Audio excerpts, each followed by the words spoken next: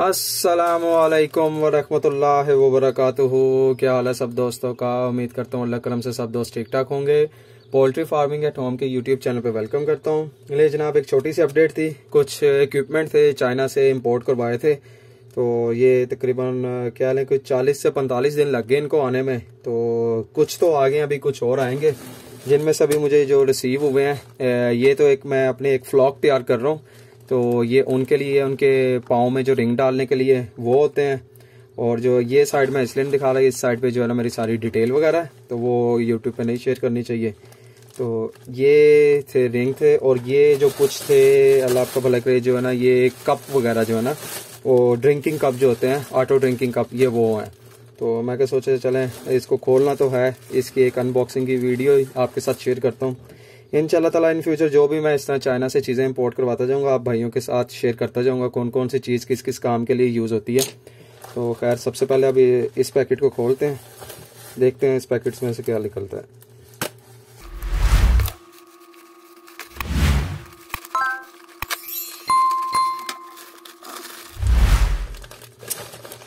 काफ़ी heavy packing की हुई है ना नहीं जनाब, ये रिंग मंगवाए थे इनके पाँव में डालने के लिए। तो ये माशाल्लाह मुझे रिसीव हो चुके हैं। इनमें से मेरे का फॉर सेल नहीं होगा मेरे पास, लेकिन जो वो कप हैं इन ताला उसमें से मैं कुछ ज़रूर सेल करूँगा, क्योंकि वो मैंने ज़्यादा मंगवाए थे, क्योंकि मेरे ग्रुप्स के भी काफ़ी मेरे अपने मेंबर्स हैं, जिनको रिक्वायर्ड थे। तो अगर आप लोगों को भी चाहिए होंगे तो मैं जो है अपना नंबर डिस्क्रिप्शन में दे दूँगा। तो अगर अवेलेबिलिटी हुई तो आप लोगों को ज़रूर ये अवेलेबल हो जाएँगे। तो ये जो है, ये रिंग है, ये आप, बहुत ही पोर्टेबल रिंग है, ये वो नहीं है जिस तरह रिंग बर्ड्स का होता है ना।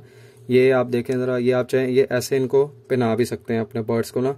उसका ये होगा कि आप उनकी मोनिटर कर सकते हैं, ये देखें, ये इस तरह रख के, ये देखें। ये अपने बर्ड्स को इन रिंग को आप पहना सकते हैं, ठीक है? ये ज़ीरो फोर्टी नाइन अब इसी का नंबर है। तो ये आपके जिसके, आप जिस बर्ड के अपने पाँव में रखेंगे तो आप उसको मोनिटर कर सकते हैं इसकी क्या ग्रोथ चल रही है, क्या नहीं। मैं अपना नया फ्लॉग तैयार कर रहा हूँ। इनशाला तला मैं उसकी भी डिटेल वीडियो आपके साथ शेयर करूँगा। तो उसमें दिखाऊँगा कि मैं कैसे इनके पाँव में डाल कर उनको कैसे ज़रा मोनीटर कर रहा हूँ। ये बड़ी आसानी से ये खुल जाता है। ये नहीं कि ये डाल के ये फिक्स हो जाएगा। इसको ये नीचे से आप इस तरह खोलेंगे ये देखेंगे ऐसे खुल भी जाएगा। ठीक है? अब, एक तो ये हो गए ये सो रिंग मैंने मंगवाए थे, ये है एक, और दूसरा मैं आपको कप खोल के दिखाता हूँ भाई ये जो है, ये कप आ गया। ठीक है।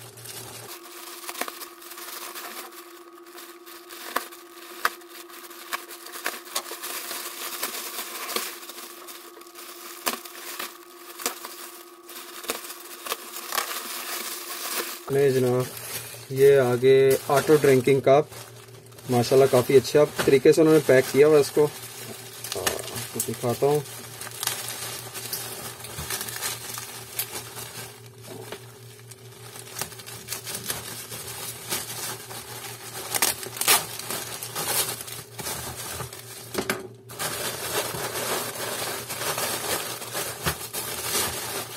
काफ़ी टाइट पैक किया हुआ है। निकल ही नहीं रहे आसानी से।